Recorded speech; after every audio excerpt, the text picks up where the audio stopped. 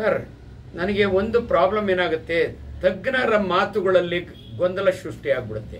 Controversies ಒಬ್ಬೊಬ್ಬರು ಒಂದೊಂದು ಹೇಳ್ತಾರೆ. ಇದಕ್ಕೆ ಮೊದಲೇ ಒಬ್ಬರು ತಜ್ಞರು ಹೇಳಿದರು, ಐದು ಲಕ್ಷ ಮಕ್ಕಳಲ್ಲಿ ಐದು ಜನಕ್ಕೆ ಮಾತ್ರ ಇದು ಬರುತ್ತೆ ಅಂತ.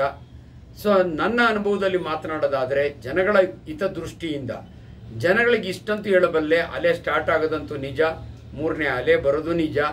ಹಂಗೆ ಅಂದ್ಕೊಂಡು ನೀವು ಹೆದರ್ಕೋಬಾರ್ದು. ಆದರೆ ಎಚ್ಚರಿಕೆ ಇರಲಿ. ಅನ್ಫಾರ್ಚುನೇಟ್ಲಿ ನಾವು ಎಷ್ಟೇ ಸಾರಿ ಹೇಳಿದರೂ ಕೂಡ ಇವಾಗ ಲಾಕ್ಡೌನ್ ತೆಗೆದ ಮೇಲೆ ಮತ್ತೆ ಜನ ಬಹಳ ಕೇರ್ಲೆಸ್ ಆಗಿ ಎಲ್ಲಂದ್ರಲ್ಲೇ ಇನ್ನು ನೀವೆಲ್ಲೇ ನೋಡಿ ಒಬ್ಬರೂ ಮಾಸ್ಕ್ ಹಾಕ್ತಾ ಇಲ್ಲ. ಯಾವುದೇ ಪಿಕ್ನಿಕ್ಕಿಗೆ ಹೋಗಲಿ, ಈಗಾಗಲೇ ಮಡಿಕೇರಿಗಾಗಲಿ ನಂದಿ ಬೆಟ್ಟದೊಳಗಾಗಲಿ ಜನ, ದಯವಿಟ್ಟು ಯಾಕೆ ಪದೇ ಪದೇ ಇದನ್ನು ನಾವು ಮೀಡಿಯಾದೊಳಗೆ ಡಿಸ್ಕಸ್ ಮಾಡ್ತೀವಿ ಅಂದರೆ ನಿಮ್ಗೆ ಎದುರಿಸೋದಿಕ್ಕಲ್ಲ, ಅದನ್ನು ಚೆನ್ನಾಗಿ ತಿಳ್ಕೊಂಬಿಡಿ. ಬಟ್ ಎಚ್ಚರಿಕೆ ಇಲ್ದಿದ್ರೆ ಇದು ವಿಜ್ಞಾನ ಸ್ಪಷ್ಟವಾಗಿ ಮಾಹಿತಿ ನೀಡಿದೆ. ಇದು ಒಬ್ಬರಿಗಿಂದ ಒಬ್ಬರಿಗೆ ಹರಡುವಂಥದ್ದು. ಆಮೇಲೆ ವೈರಸ್ಸು ಮ್ಯೂಟೇಟ್ ಆತ ಆತ ಮೋರ್ ಡೇಂಜರಸ್ ವೈರಸ್ಸು ಬರ್ತವೆ. ಡೆಲ್ಟಾ ಪ್ಲಸ್ ಅಂತ ನಾವೇನು ಕೇಳ್ತಿದ್ದೀವಲ್ಲ ಇದು ಮೊದಲನೇ ವೈರಸ್ಗಿಂತಲೂ ಮೋರ್ ವಿರುಲೆಂಟ್. ನಮ್ಮ ಭಾಷೆಯಲ್ಲಿ ಹೇಳಬೇಕು ಅಂದ್ರೆ ಮೋರ್ ವಿರುಲೆಂಟ್ ಅಂದರೆ ಮೂಗಿನೊಳಗೆ ಓದಿದ ನೆಕ್ಸ್ಟ್ ಡೇನೇ ಮಲ್ಟಿಪ್ಲೈ ಆಗೋ ಕೆಪಾಸಿಟಿ ಅದಕ್ಕಿರೋದ್ರಿಂದ ದಯವಿಟ್ಟು ಜನ ನೆಗ್ಲೆಕ್ಟ್ ಮಾಡಬೇಡಿ. ಇವಾಗ ಒಬ್ಬರು ತಜ್ಞರು ಹೇಳಬೇಕಾದ್ರೆ ಸುಮ್ಮನೆ ಅವ್ರು ಪೊಲಿಟಿಷಿಯನ್ ಥರ ಮಾತನಾಡೋಕ್ಕಾಗೋದಿಲ್ಲ. ಒಂದು ಎವಿಡೆನ್ಸ್ ಬೇಸ್ಡ್ ಯಾವುದು ವಿಜ್ಞಾನ ಯಾವತ್ತೂ ಕೂಡ ಒಂದು ಅನುಭವ. ನಮಗೇನಂದ್ರೆ ಈ ಮೂರನೇ ಅಲೆ ಇದುವರೆಗೂ ಯಾರಿಗೂ ಅನುಭವ ಇಲ್ಲ. ಯಾವುದೇ ಇಂದಿನ ಸಾಂಕ್ರಾಮಿಕ ಕಾಯಿಲೆಗಳಲ್ಲಿ ಮೂರನೇ ಅಲೆ ನಾವು ಯಾರು ನೋಡಿರಲಿಲ್ಲ.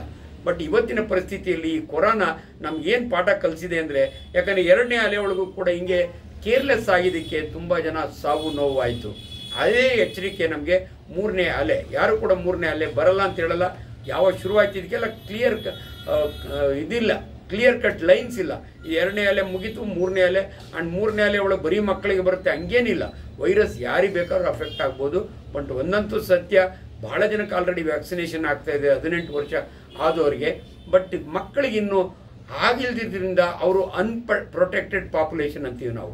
ಯಾಕಂದರೆ ಸಾಂಕ್ರಾಮಿಕ ರೋಗದಲ್ಲಿ ಪದೇ ಪದೇ ನಾನು ಹೇಳಿದ್ದೀನಿ ಪ್ರಿವೆನ್ಷನ್ನು ಟ್ರೀಟ್ಮೆಂಟು ಪ್ರೊಟೆಕ್ಷನ್ ಇವತ್ತು ಆಲ್ರೆಡಿ ನಾವು ಪ್ರೊಟೆಕ್ಷನ್ ಸ್ಟೇಜ್ನಲ್ಲಿದ್ದೀವಿ ಅನ್ಫಾರ್ಚುನೇಟ್ಲಿ ಈಗ ವ್ಯಾಕ್ಸಿನ್ಗಳು ಸಿಗ್ತಾ ಇಲ್ಲ. ಕೆಲವು ಕಡೆ ಎಲ್ಲ ಜನ ಇನ್ನೂ ಒದ್ದಾಡ್ತಾ ಇದ್ದಾರೆ. ಎರಡನೇ ಡೋಸ್ ಎಷ್ಟೋ ಜನ ತಗೊಂಡಿಲ್ಲ. ಆ ಗೊಂದಲದಲ್ಲಿದ್ದಾರೆ. ಈವನ್ ಹಾಕಿಸ್ಕೊಂಡವ್ರಿಗೂ ಕೂಡ ಯಾಕೆ ಮೂರನೇ ಅಲೆ ಬರುತ್ತೆ ಅಂದ್ರೆ ತುಂಬಾ ಕಡೆ ಇದಾಗಿದೆ. ವ್ಯಾಕ್ಸಿನ್ ತಗೊಂಡವ್ರ ಬಾಡಿಯಲ್ಲಿ ಟೆಸ್ಟ್ ಮಾಡಿದ್ದಾರೆ. ಆಂಟಿಬಾಡೀಸೇ ಪ್ರೊಡ್ಯೂಸ್ ಆಗಿಲ್ಲ. ಅಥವಾ ಕಡಿಮೆ ಪ್ರೊಡ್ಯೂಸ್ ಆಗಿದೆ. ಆದುದರಿಂದ ಯಾರು ಕೂಡ ಏನು ಲೈಟಾಗಿ ತಗೊಳಂಗಿಲ್ಲ. ಎಲ್ಲಿವರೆಗೂ ನಾವು ಈ ಕೊರೋನಾ ನಮ್ಮಿಂದ ದೂರ ಹೋಯ್ತು ಝೀರೋ ಆಯಿತು ಅಂತ ಹೇಳಲ್ವೋ ಅಲ್ಲಿವರೆಗೂ ಕೂಡ ಕೊರೋನಾ ಜೊತೆಯಲ್ಲಿ ನಾವು ಬದುಕೋದನ್ನು ಕಲಿಬೇಕು. ಅದಕ್ಕೋಸ್ಕರವಾಗಿ ಈ ಮೂರನೇ ಅಲೆ ಬಂದಿದೆ. ಇನ್ನು ಮುಂದೆ ಜಾಸ್ತಿ ಆಗ್ಬೋದು. ಜಾಸ್ತಿ ಆಗೋದಕ್ಕೆ ಕಾರಣ ಮತ್ತೆ ಜನರ ನಿರ್ಲಕ್ಷ್ಯ. ಯಾವಾಗ ಮಾಸ್ಕ್ ಹಾಕಲ್ಲೋ ಯಾವಾಗ ಸೋಷಿಯಲ್ ಡಿಸ್ಟೆನ್ಸ್ ಬಿಡ್ತಾರೋ, ಯಾಕಂದರೆ ಇದಕ್ಕೆ ಸ್ಪಷ್ಟ ನಿದರ್ಶನ ನಮ್ಗೆ ಹಿಂದೆ ಇದೆ. ನನಗೆ ಚೆನ್ನಾಗಿ ನೆನಪಿದೆ, ನವೆಂಬರ್ನಲ್ಲಿ ಹೆಣ್ಣು ಗಂಡು ಮಾಸ್ಕ್ ಹಾಕ್ಕೊಂಡು ನೂರೇ ಜನ ಮದುವೆ ಆದಾಗೆ ಫ್ಯೂ ಹಂಡ್ರೆಡ್ಸ್ನಲ್ಲಿತ್ತು ಅತ್ತೊಂದು ಮೂರು ವಾರಕ್ಕೆ ಒಂದೇ ಸಾರಿ ರಾಜಕೀಯ ರ್ಯಾಲಿಗಳು, ಸ್ವಾಮೀಜಿಗಳ ರ್ಯಾಲಿ ಫ್ರೀಡಮ್ ಪೈ ಪಾರ್ಕ್ನಲ್ಲಿ ರ್ಯಾಲಿ ಫಿಲಮ್ ಮೋಟಿವೇಶನ್ ಇವೆಲ್ಲ ಒಟ್ಟಿಗೆ ಬಂದಾಗೆ ಜನ ಕೇರ್ಲೆಸ್ ಆದರೂ. ಅದರ ಎಫೆಕ್ಟು ಫ್ಯೂ ಹಂಡ್ರೆಡ್ಸಿಂದ ಫ್ಯೂ ತೌಸಂಡ್ಸ್ ಹೋಯಿತು. ಆ ಪಾಠನ ನಾವು ಕಲೀಲಿಲ್ಲ ಅಂದರೆ ಮೂರನೇ ಅಲೆಯಲ್ಲಿ ಇವತ್ತು ಆಲ್ರೆಡಿ ಜನ ಮೋಜು ಮಸ್ತಿ ಮಾಡೋಕ್ಕೆ ಶುರು ಮಾಡಿದ್ದಾರೆ. ಹಂಗೆ ಮಾಡಿದರೆ ಮೂರನೇ ಅಲೆಯಲ್ಲಿ ಡೆಫಿನೆಟ್ಲಿ ಆಘಾತಕಾರಿ ವಿಷಯಗಳನ್ನ ನೋಡಬೇಕಾಗ್ತದೆ. ನೀವು ನೋಡಬಾರ್ದು ಅಂದರೆ ದಯವಿಟ್ಟು ಫಾಲೋ ಮಾಡಿ. ವಿಧಿ ಇಲ್ಲ. ಸಿ, ಹೇಳೋದು ಬಹಳ ಸ್ಪಷ್ಟ. ಲಾಕ್ ಡೌನು ಸೀಲ್ ಡೌನು ರಾಜಕೀಯ ವ್ಯಕ್ತಿಗಳ ಮಾತು. ಯಾಕಂದ್ರೆ Sudhakar is a health education minister. Luckily ಅವರು ಡಾಕ್ಟ್ರು ಆಗಿರೋದು. ನಾನು ಪದೇ ಪದೇ ಹೇಳಿದ್ದೀನಿ ಲಾಕ್ಡೌನು ಸೀಲ್ ಡೌನು ನಮ್ಮ ಮೆಡಿಕಲ್ ಭಾಷೆ ಅಲ್ಲ. ನಮ್ಮ ಮೆಡಿಕಲ್ ಭಾಷೆಯಲ್ಲಿ ಪ್ರತಿಯೊಬ್ಬರ ಜವಾಬ್ದಾರಿ, ಸೋಷಿಯಲ್ ಡಿಸ್ಟೆನ್ಸು, ಹ್ಯಾಂಡ್ ವಾಷಿಂಗು ಅದು ಮಾಡಲಿಲ್ಲ ಅಂದರೆ ಸರ್ಕಾರ ಇನ್ನೇನು ಮಾಡ್ತಾರೆ ಹೇಳಿ, ದಂಡಂ ದಶಕೊಂಡು ಯಾವಲ್ಲೂ ಅಷ್ಟೇ ಯಾವುದೇ ಒಂದು ಕಾನೂನು ಮಾಡದಿದ್ರೆ ಜನ ಫಾಲೋ ಇದು ನಮ್ಮ ಬ್ರಿಟಿಷ್ ಕಾಲದಿಂದಲೂ ನೋಡಿರೋದು. ಜನಸಾಮಾನ್ಯರು ನಿಮ್ಮ ಕಾಯಿಲೆ ನಿಮಗೆ ಅರಿವಿರಲಿ ಅಂತ ಹೇಳಿದ ಮೇಲೂ ಕೂಡ ಕೇರ್ ಮಾಡಲಿಲ್ಲ ಅಂದರೆ ಇನ್ನು ಉಳಿದಿರೋದು ಒಂದೇ ಪೊಲೀಸ್ನವ್ರು ಬರಬೇಕು ಲಾಕ್ಡೌನ್ ಮಾಡಬೇಕು ಸೀಲ್ ಡೌನ್ ಮಾಡಬೇಕು, ಅದು. ಅವ್ರು ಹೇಳಿರೋದು ಕರೆಕ್ಟಾಗಿದೆ ಇದು ಜನರಿಗೆ ಕೊಡ್ತಿರೋಂಥ ಒಂದು ಜವಾಬ್ದಾರಿ. ನೋಡಿ ನಿಮ್ಮ ಜವಾಬ್ದಾರಿ. ಚೀಫ್ ಮಿನಿಸ್ಟರ್ ಕೂಡ ಅದೇ ಹೇಳಿದರು. ನೀವು ಜವಾಬ್ದಾರಿ ವಹಿಸ್ಕೊಳ್ತಾ ಇದ್ದರೆ ನಮಗೆ ಬೇರೆ ಮಾರ್ಗ ಇಲ್ಲ. ಯಾಕಂದರೆ ಸರ್ಕಾರವನ್ನು ಬೇರೆ ಜನರು ಫಾಲೋ ಎಲ್ಲರೂ ಹಂಗೆ ಮಾಡಲ್ಲ. ಫಾಲೋ ಮಾಡೋರು ಇರ್ತಾರೆ. ಅವರು ಸರ್ಕಾರನ ಕೇಳ್ತಾರೆ. ನಾವು ಇಷ್ಟು ಕಷ್ಟಪಟ್ಟು ನಾನೆಲ್ಲ ಹಾಕೋತೀನಿ ನೀವು ಯಾರಂದ್ರೆ ಅವ್ರು ಹೆಂಗೆ ಓಡಾಡ್ತಾರೆ. ಅವರಿಂದ ನನಗೆ ಕಾಯಿಲೆ ಬರುತ್ತೆ. ನಿಮ್ಮ ಸರ್ಕಾರದ ಜವಾಬ್ದಾರಿ ಏನು ಅಂತ ಕೇಳ್ತಾರೆ. ಅದಕ್ಕೋಸ್ಕರ ಅವ್ರು ಹೇಳಿರೋದು ಕರೆಕ್ಟಾಗಿದೆ ದಯವಿಟ್ಟು ಇನ್ನು ನೋಡ್ತಾ ಇರಿ. ಇನ್ನು ಏನಾದರೂ ಈ ವಾರದೊಳಗೆ ನಂಬರ್ ಆಫ್ ಕೇಸಸ್ ಜಾಸ್ತಿ ಆಗ್ತಾ ಹೋದರೆ ಅವ್ರಿಗೆ ಉಳಿದಿರೋದು ಒಂದೇ ಮಾರ್ಗ ಸರ್ಕಾರಕ್ಕೆ. ಲಾಕ್ಡೌನ್ ಸೀಲ್ ಡೌನು ಮಾಡದಿದ್ರೆ ಜನ ಕೇಳಲ್ಲ ಅಂತ. ಈ ಕಳೆದ ಲಾಕ್ಡೌನ್ ಒಳಗೆ ಡೆಫಿನೆಟ್ಲಿ ಕಡಿಮೆ ಆಯಿತು. ಯಾವಾಗ ಎರಡನೇ ಅಲೆ ಜಾಸ್ತಿ ಆಯ್ತಲ್ಲ ಲಾಕ್ಡೌನ್ ಸೀಲ್ ಡೌನ್ ಮಾಡಿದ ಮೇಲೆ ಮತ್ತೆ ಕಡಿಮೆ ಆಯಿತು. ಕಡಿಮೆ ಆದಾಗೇನೆ ಜೀವನ ನಡಿಬೇಕು, ಜೀವನ ಉಳಿಬೇಕು ಅಂತ ಸರ್ಕಾರ ನಿರ್ಧಾರ ತಗೊಂಡು ಶುರು ಮಾಡಿತು. ಬಟ್ ಇವತ್ತು ಮತ್ತೆ ನಂಬರ್ ಆಫ್ ಕೇಸಸ್ ಜಾಸ್ತಿ ಆದರೆ ಸರ್ಕಾರಕ್ಕೆ ಬೇರೆ ಮಾರ್ಗ ಇಲ್ಲ. ಮಾಡೇ ಮಾಡ್ತಾರೆ. ಜನಗಳು ಅನುಭವಿಸ್ಬೇಕಾಗುತ್ತೆ. ಇಲ್ಲ, ಪೋಸ್ಟ್ ಪಾಸಿಟಿವ್, ಸಿಕ್ವೆಲೆ ಅಂತೀವಿ ನಾವು. ಯಾವುದೇ ಒಂದು ಸಾಂಕ್ರಾಮಿಕ ರೋಗ ಬಂದು ಉಳ್ಕೊಂಡ ಮೇಲೆ ಕೆಲವು ಪ್ರಾಬ್ಲಮ್ಗಳಿರ್ತವೆ ಎರಡನೇ ಸೆಕೆಂಡ್ರಿ ನ್ಯೂಮೋನಿಯಾ ಆಗ್ಬೋದು, ಅಥವಾ ಸೆಕೆಂಡ್ರಿ ಇನ್ಫೆಕ್ಷನ್ ಆಗ್ಬೋದು. ನಾವು ಪ್ರತಿ ಸಾರಿ ಹೇಳಿದ್ದೀವಿ ಸ್ಮಾಲ್ ಪಾಕ್ಸ್ ಒಂದೇ ಕಾಯಿಲೆ, ಅದು ಕೂಡ ವೈರಲ್ ಕಾಯಿಲೆ. ಒಂದ್ಸಾರಿ ಬಂದರೆ ಆ ಮನುಷ್ಯನಿಗೆ ಮತ್ತೆ ಕಾಯಿಲೆ ಬರಲ್ಲ ಅಂತ ನಮಗೆ ಚೆನ್ನಾಗಿ ಗೊತ್ತಿತ್ತು. ಆದರೆ ಕೊರೋನಾ ವೈರಸ್ಸು ರೂಪಾಂತರಗೊಳ್ಳುವಂಥ ವೈರಸ್ಸು ಇವನ್ ವ್ಯಾಕ್ಸಿನ್ ತೊಗೊಂಡಿರಲಿ, ಇವನ್ ರಿಕವರಿ ಆಗಿರಲಿ, ಇವನ್ ದೇಹದಲ್ಲಿರುವಂಥ ಆಂಟಿಬಾಡೀಸು ಬರುವ ಹೊಸ ವೈರಸ್ಸು ಅಂದರೆ ರೂಪಾಂತರಗೊಂಡ ವೈರಸ್ ಎಕ್ಸಾಂಪಲ್ ಡೆಲ್ಟಾ ಪ್ಲಸ್ ಈ ವೈರಸ್ಗೆ ನಮ್ಮ ದೇಹದಲ್ಲಿ ಆಂಟಿಬಾಡಿ ಇಲ್ಲ. ಇವನು ರಿಕವರಿ ಆಗಿರೋನಿಗೆ ಆಲ್ರೆಡಿ ಜರ್ಜರಿತನಾಗಿರ್ತಾನೆ. ಈ ವೈರಸ್ ಬಂದರೆ ನ್ಯಾಚುರಲಿ ಇವನಿಗೆ ಮತ್ತೆ ಇನ್ಫೆಕ್ಷನ್ ಬರುತ್ತೆ. ಅದಕ್ಕೆ ನಾವು ಸ್ಪಷ್ಟತೆಯನ್ನು ಕೊಟ್ಟು ನೀವು ರಿಕವರಿ ಆದರೂ ಕೂಡ ದಯವಿಟ್ಟು ಮಾಸ್ಕ್ ಇಲ್ದಿರೋ ಓಡಾಡಬೇಡಿ. ಕೇರ್ಲೆಸ್ ಆಗಿ ಓಡಾಡಬೇಡಿ.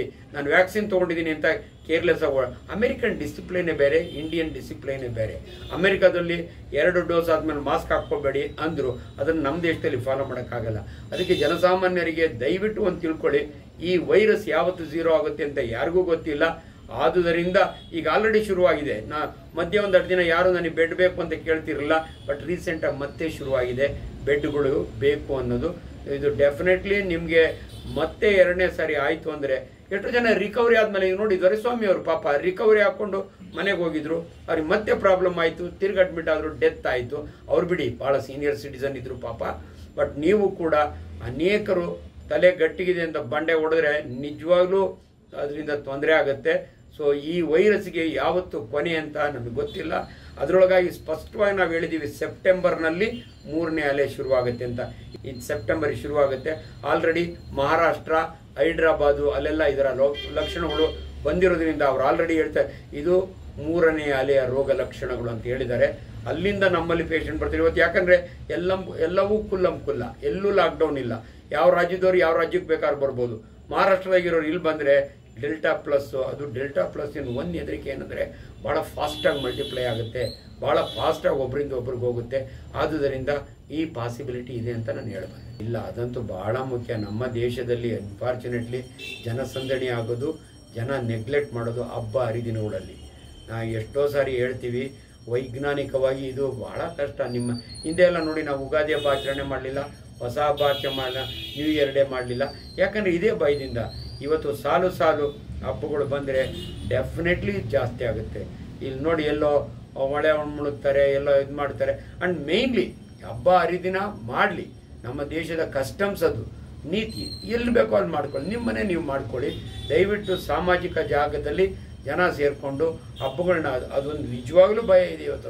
ನಮ್ಮ ದೇಶದಲ್ಲಿ ಇನ್ನು ಶುರುವಾಗುತ್ತೆ ವರಮಹಾಲಕ್ಷ್ಮಿ ಹಬ್ಬದಿಂದ ಹಿಡಿದು ಗಣಪತಿ ಸಾಲು ಸಾಲು ಹಬ್ಬಗಳು ಅಂದರೆ ಆಚರಣೆ. ಆಚರಣೆ ಅಂದರೆ ಜನಸಂದಣಿ. ಸೊ ಇದು ನಮ್ಮ ಸೈನ್ಸ್ಗೆ ಅಗೇನೆಸ್ಟು ಸೊ ಆದುದರಿಂದ ದಯವಿಟ್ಟು ಈ ಇಡೀ ವರ್ಷ ಮನೆಗೆ ದೇವ್ರಿಗೆ ಕೈ ಮುಕ್ಕೊಂಡು ನಾವು ಇರಬೇಕೆ ಹೊರತು ಬೇರೆ ಮಾರ್ಗ ಇಲ್ಲ. ಇದು ನಿಜ. ನೋಡಿ, ಹಳ್ಳಿಗಳ ಕಡೆ ಕಡಿಮೆ ಇತ್ತು. ನಾನು ದೊಡ್ಡಬಳ್ಳಾಪುರ ತಾಲೂಕು ನನ್ನ ಹಳ್ಳಿ ಅಲ್ಲೇ ಇರೋದು. ಯಾವಾಗ ಸಿಟಿಯಿಂದ ಜನ ಹೋದ್ರಲ್ಲ, ಹಳ್ಳಿ ಕಡೆ ಹೋದ್ರಲ್ಲ ಇಲ್ಲಿಂದ ಇನ್ಫೆಕ್ಷನ್ ಅಲ್ಲಿ ಕ್ಯಾರಿ ಮಾಡಿದ್ರು. ಅಂಡ್ ಇನ್ನೊಂದು ಅನ್ಫಾರ್ಚುನೇಟ್ಲಿ ಏನಾಗೋಯ್ತು, ಹಳ್ಳಿಗೆ ಹೋದೋರು ಇವರು ಕ್ವಾರಂಟೈನ್ ಆಗಿ ಅಂತ ಹೇಳಿದಾಗ ಕೇಳಲಿಲ್ಲ.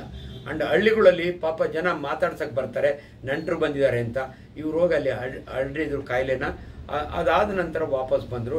ಹಳ್ಳಿಗಳ ಕಡೆ ಈ ಕಾಯಿಲೆ ಜಾಸ್ತಿ ಆಗಲಿಕ್ಕೆ ಮತ್ತೆ ಕಾರಣ ಪೀಪಲ್ ಮೂಮೆಂಟೇನೆ ಯಾಕಂದರೆ ಇದು ವೆರಿ ಸ್ಪಷ್ಟವಾಗಿ ಒಬ್ಬರಿಂದ ಒಬ್ಬರಿಗೆ ಹರಡುವಂಥ ಸಾಂಕ್ರಾಮಿಕ ಕಾಯಿಲೆ. ಇದು ಬೆಂಗಳೂರಿಂದ ದೊಡ್ಡಬಳ್ಳಾಪುರಕ್ಕೆ ಗಾಳಿ ಒಳಗಂತೂ ಹಾರ್ಕೊಂಡು ಹೋಗಿಲ್ಲ. ಜನಗಳ ಜೊತೆಯಲ್ಲೇ ಹೋಗಿರೋದು. ಆ ಕೇರ್ಲೆಸ್ನೆಸ್ನಿಂದ ಒಬ್ಬರಿಂದ ಒಬ್ಬರಿಗೆ ಹರಡಿದೆ. ಅಂಡ್ ಹಳ್ಳಿ ಒಳಗೆ ಸ್ಮಾಲ್ ಗ್ರೂಪ್ ಆಫ್ ಪೀಪಲ್ಸು ಒಂದು ಮನೆಗೆ ಹರಡಿದ್ರೆ ಪಕ್ಕದ ಮನೆಗೆ ಹೋಗುತ್ತೆ. ಪಕ್ಕದ ಮನೆ ಹಂಗಾಗಿ ಜಾಸ್ತಿ ಆಗಿದೆ.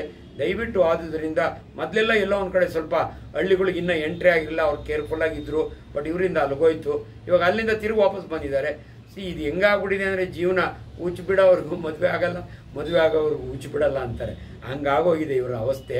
ನಿಜವಾಗ್ಲೂ ದಯವಿಟ್ಟು ಯಾರು ಕೂಡ ಇವತ್ತಿನ ಪರಿಸ್ಥಿತಿಯಲ್ಲಿ ಏನಂದರೆ ಕಳೆದ ಮೂರು ವಾರದಿಂದ ನಮಗೆ ಸಾವು ಕಡಿಮೆ ಆಗಿದೆ. ಐ ಸಿ ಯು ಡೆತ್ಸ್ ಕಡಿಮೆ ಆಗಿದೆ. ಅದೊಂದು ಬಹಳ ಪಾಸಿಟಿವ್ ಇದು. ಆ್ಯಂಡ್ ತುಂಬ ಜನ ಇವತ್ತು ಬೆಡ್ ಸಿಗಲಿಲ್ಲ ಅಂತ ಯಾರು ಒದ್ದಾಡ್ತಾ ಇಲ್ಲ. ಮತ್ತೆ ಆ ಪರಿಸ್ಥಿತಿಗೆ ಏನಾದರೂ ನಾವು ಹೋದರೆ ಅದರೊಳಗಾಗಿ ಮಕ್ಕಳಿಗೆ ಎಲ್ಲೂ ವ್ಯವಸ್ಥೆ ಆಗಿಲ್ಲ. ಸುಮ್ಮನೆ ಸರ್ಕಾರ ಹೇಳ್ತಾ ಇದೆ. ಇದುವರೆಗೂ ನಾನು ಕೇಳ್ದಂಗೆ ಯಾವ ಹಾಸ್ಪಿಟ್ಲಲ್ಲೂ ಮಕ್ಕಳಿಗೆ ಐ ಸಿ ಯು ಕೇರ್ನ ಸ್ಟಾರ್ಟ್ ಮಾಡಿಲ್ಲ. ಆದುದರಿಂದ ನಿಜವಾಗ್ಲೂ ಪ್ರಾಬ್ಲಮಿಗೆ ಸಿಕ್ಕಾಕೊಳ್ತೀವಿ ನಾವು.